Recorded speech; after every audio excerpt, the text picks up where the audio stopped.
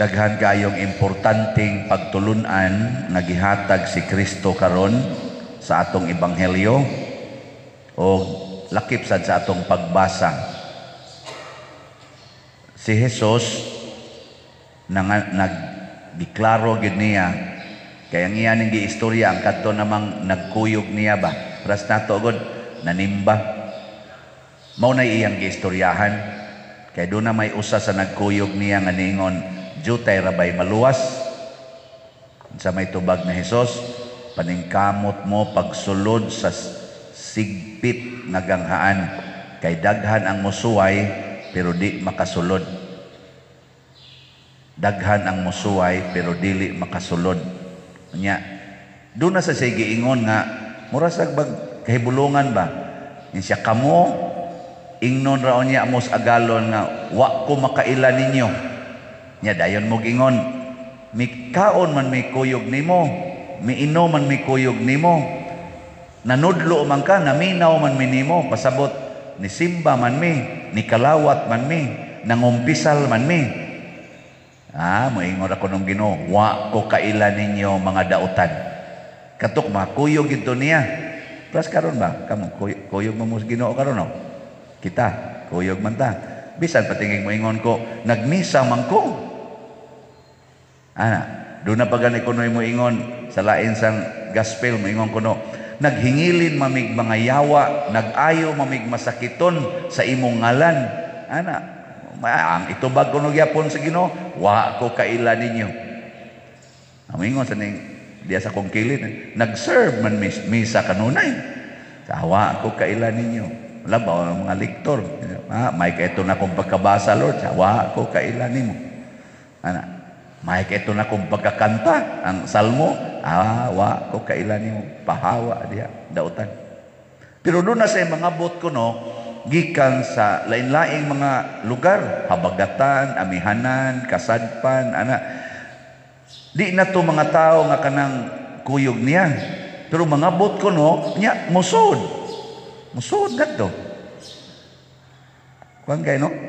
Kuyaw kay nistanan nga kadtong na nag-standby dito katong way simba-simba inigabot ato dito. Mao na hinuy ni sud ngadto sa Ginoo. Nya kini gasigig simba sige pagyog palit og slat. Tuwa ra gawas. Kuyog sa namaligyag slat. Tuwa dito sa gawas. Hasta looy ano? Eh matod ba Kristo maghilak niya mo magkagot inyong ngipon magtan-aw ni Abraham ni Isaac ug kinsa pa to ni Jacob ug sa mga santos mga propeta ug sa daghan nga mga bot nga gikan sa kasadpan sa silangan nga luya no nya ngano man eh Duna di ay balaod ang Ginoo importante kayo. Unsa man? Ang nahiuna karon maulahi. Ug ang naulahi mahiuna. Unsa man ang balaora? Sabot mo na. Dag ayan to giung sa pagsulti dire. Ug unya kadtong naulahi karon mahiuna ug daghan usab nga karon nahiuna maulahi. Saya pasabot anak. Ang nakasabot, malangit. Ang saya pasabot, wa mo kasabot. Wa gyud. Ah, pariyata. Asa mo pagsabot ana? Sudah ka ang naulahi, mahiuna. Ang mahiuna, maulahi. Ala nang atong kuan ba si dia pa to diri Brad Henry wa man mo simbar Brad Henry kani bangsa nagkuan to ani mga grills ba dia to'y kausa nga nag meeting na mo sa kanang among COVID G nya ni share siya aw dito dito sa ilam tintin pistam ting ito, nga diha sa dang iyang mga tao niya. Nihatag sa siya iyang kaugalingong sharing ba. Ana, ingon din siya. Kani mo gini akong prinsipyo nga daghan nga naisubra pero kuwangan. Nasay uban nga kuwangan pero sobra. Siko ko na unsaon gani pag unsaon jud ka ani kay hisgot man siya bahin ani bang income ba kaning income. Yung siya tinudan na ba ya na may mga tao nga sobra pero kuwangan. Nasay kuwangan pero sobra. O tungwa na lang ko naguna-huna ato. Mumaol sa niniya, daghang naulahi, mahiuna, naa say daghang nahiuna, maulahi. Ang akong ubos aning pangagpas, ano sa man? Ang Ginoo why schedule. Wa say time, wa say timetable ba sa kamaong mo ihap og oras ang iyang giihap binuhatan. Binuhatan dili oras. Nya ang Ginoo sad di siya maghuna-huna sa imong nangagi nga mga binuhatan. Ang kanunay niyang tan-aon ang imong gibuhat karon. Di ba? Anang litan. Karon, simba mo. Unsa man ni? Kinsa may mas duol ninyo sa Ginoo? Kamo o kadtong nangatog pa dito? Sa inyong paminaw, karon ba karong orasa, kinsa may mas duol? Kamo. Kay nagsimba man mo. Ako mas duol sa ko. Kaysa katong na naghagok pa dito, ana agas panglaway dire ana. Unya pa mang mata ika alas 12 sa udto, kay kutob sa alas 4 sa kadlawon siging TikTok, siging TikTok ana. Aw kadto sila mo'y awahi. Kamo din eh, ako nauna na ta. Ano? Karon pag uli nimo sa inyo. Ikaw ba? Pag uli nimo, purti man nimong yaw-yaw atong wap amo mata. Muingo ka, kamo, wag mo mga usab, maulang gyapon mo. Di pagyud mo manimba, di pagyud mo musabat og rosaryo, sige mo ng cellphone, porti pa niyong tapulana. Ako, gikan ako simbahan. Pagbalik na ko, di alang gyapon mo mga panuwaya mo. Tama na ka. Niya, katusang naminaw, moingon nimo, ay, sorry kayo, ma, ma, sorry jud kaayo. Ah, sorry, sorry, na buanga ka. Sige lang kag sorry. Ah. Kinsa naman roy dool ninyo sa Ginoo?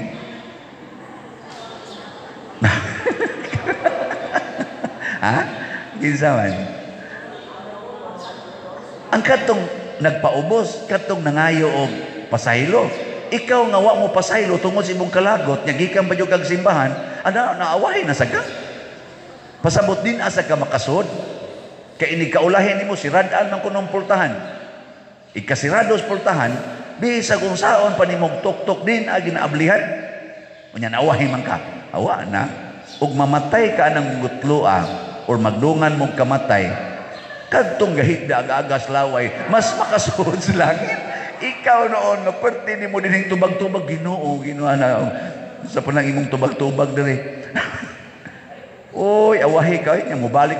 Lord, ngano man ang akong anak nga sigim na nagkatub, ngano man ay naumaw naman ay nalangit. Ako hinoon, nagikan kong simbahan at tumulo. Wa naman akong kumalangit, nga ni kalawat man ko nimo.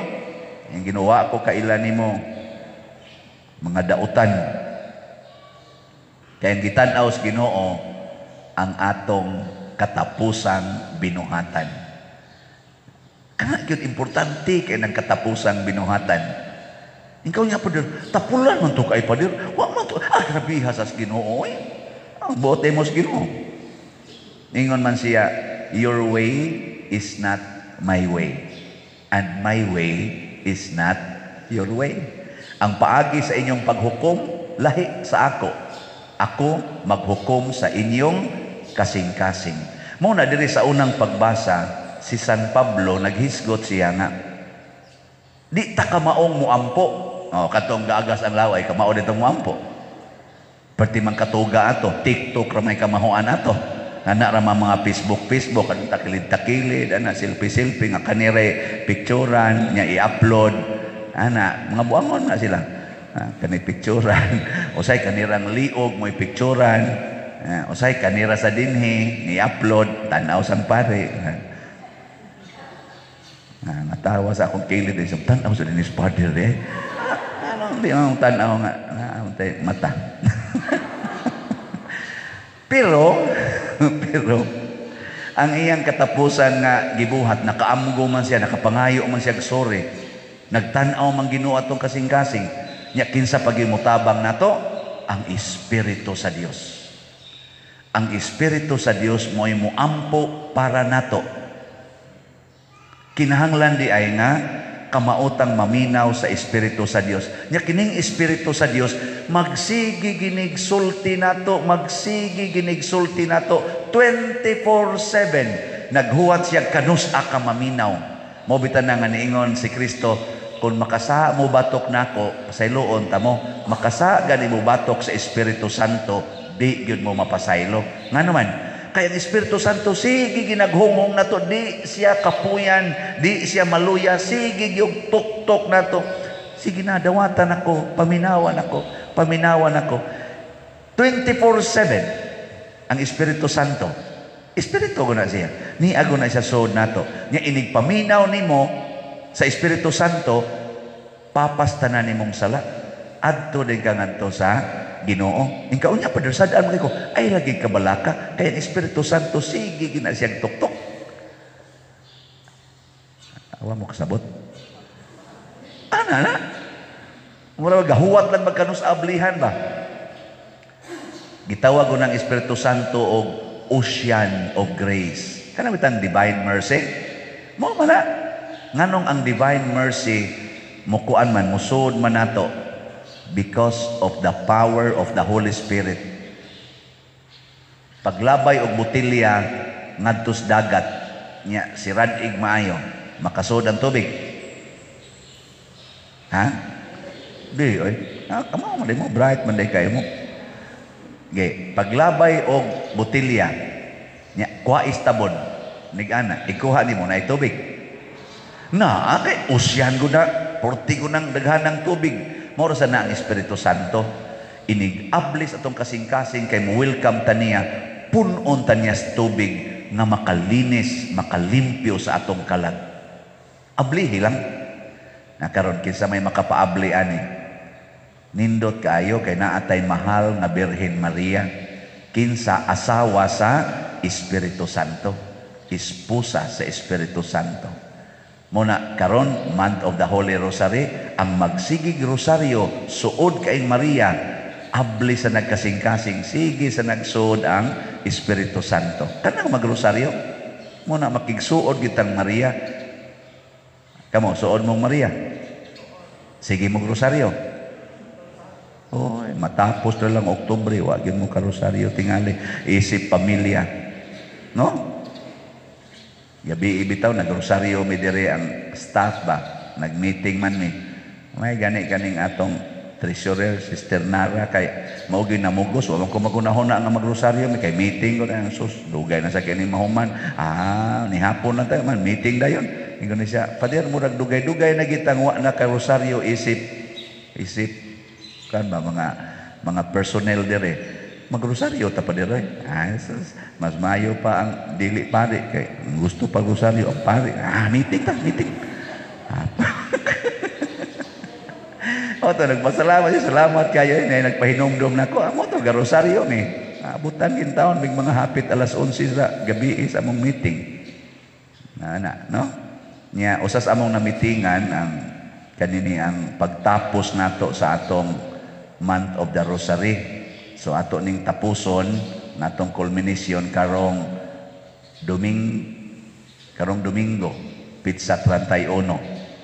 Uh, doon na ta din himuon nga uh, Holy Mass, uh, kaning High Mass, kung celebrated Mass, kamera mo sa duha, si Father Arnel magunay-unay. So wa tay misa sa alasitis gabi karong Domingo. Ang alasitis gabi atong gi-cancel, ari na ang misa sa alas 5 sa hapon. Karong Domingo, pizza 31. Alas 5 ras hapon atong misa. Ana, niya, uh, kuha na siya, high mass, niya iguman ana, na tay living rosary diha sa gawas. Uh, amo to kanus atamahuman, ang PYCC, ang atong uban pang choir, uban pa, mo'y kuha na. So akong imbitaron ang mga mandated organizations nga may tagnaa sa ta to culminate aning atong kanini ang rosary, month of the rosary. Nindot no? Awa mo nindot eh. Kana bang ato bang i-highlight si Mother Mary? Nya kay naama sini honghong na ko niya pa dir ang gastuhan na na. Iyay, gasto na sa. Oo, na siya. So, mag special slot lang ta. para ana kay nalimtan ako sa Mama Mary da hinumdum mo atong doon natay special slot nga atong gitawag og Mary's Embrace limot na mo. Mary's Embrace baka nang gakson kang Mama Mary o, ato mo nang gihimos una so ako nang ibalik ron. Mary's Embrace special slots 200 katag 1,000 kutob ra na karong Domingo. Malit mo. Para igasto nato sa pagkaon o mga gamit ato mang nindot-nindot doon ang atong selebrasyon niya mo gamit po tag mga mga sound system o uban pa anang natay daghang bayro nun.